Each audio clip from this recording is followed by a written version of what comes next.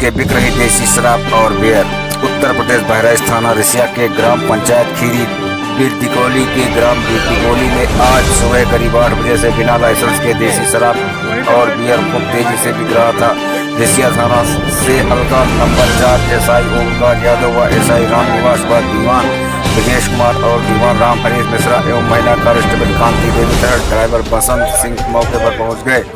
Police प्रशासन ने ज़ोर दबाव देकर करीब नौ बजे किसी तरह दिकोली निवासी राजू चौहान पुत्र फेरन चौहान का घर का दरवाज़ा खुलवाया और घर से आठ पेटी झूम के देसी शराब और चार पेटी बियर बरामद किया। शराब के साथ साथ बिना लाइसेंस के शराब बेचने वाले राजू चौहान को भी पुलिस ने हिरासत में लिया।